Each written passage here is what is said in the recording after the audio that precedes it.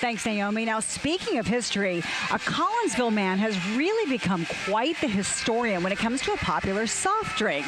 Our Julie Chin has the positively Oklahoma story of Roger Moats and his very sweet connection to Pepsi. It runs in my blood. When it comes to Pepsi, Roger Moat's cup runneth over. If I were to open your refrigerator, would I find Pepsi? Absolutely. Absolutely. yeah. Is it your drink of choice? Yes. Roger's so passionate about Pepsi, he's building his own personal museum. My hope is to have this building completely full of Pepsi Colas. With a bunch of Pepsi pieces already bubbling up in here. I would probably say 10,000. Roger believes his is the biggest Pepsi collection in Oklahoma. To my knowledge, yeah, probably. This is a treasure trove more than 20 years in the making, and it turns out Roger's Pepsi connection is even sweeter than this soda. So in school, I was I was known as the the Pepsi kid. You see, his uncle used to drive a Pepsi truck, and as a kid, Roger would tag along for the ride. He'd come back, pick me up. Uh, we would run the route. He would he would take me to school.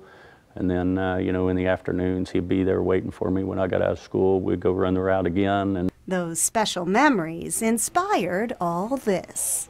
He was, I mean, like a second dad to me. And uh, so, you know, this is kind of, I guess, carrying on, you know, his his memory or whatnot. And uh, he passed away in 2000. And uh, so, I mean, this this is just how I can kind of connect with him and, and everything and you know remember him. A few of Uncle Ray's pieces, like this vending machine, started the collection, and it's grown from there. Most of it is is pretty much what I've picked up, you know, from auctions or other collections. There are signs, Santas, and so many cans. How many cans would you roughly say you have? I would I would say there's easily 2,000 cans here. 2,000 yeah. cans. Yeah from all over the world. Yes, yeah. Yeah, there's uh, Russia, Brazil, Canada. Then there are bottles with international flavors that never came to the States. And check out this NASA Pepsi from space. One giant sip for mankind. Roger also has Banks and this bottle from when Pepsi began. Caleb Bradham, which is the inventor of Pepsi, he bottled Pepsi in uh, medicine bottles to, to begin with. And uh, there's six different sizes. And yeah, I, I have one. Um, you know, that's, that's kind of a special bottle. Uh, someday I hope to have all six of them.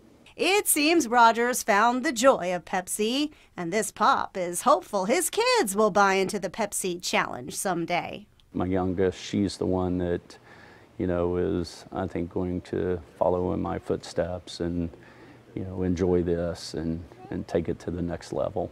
Because for Roger, this is about more than Pepsi. It's a toast to the sweet life and the uncle who taught him to drink it all in. I tell people all the time I grew up on a Pepsi Cola truck, and you know, I, I literally did. In Collinsville, Julie Chin, 2 News, Oklahoma. Isn't that amazing? Now, Roger says as he continues adding to his collection, he might even be willing to share it with the public someday. We'll keep you posted on that.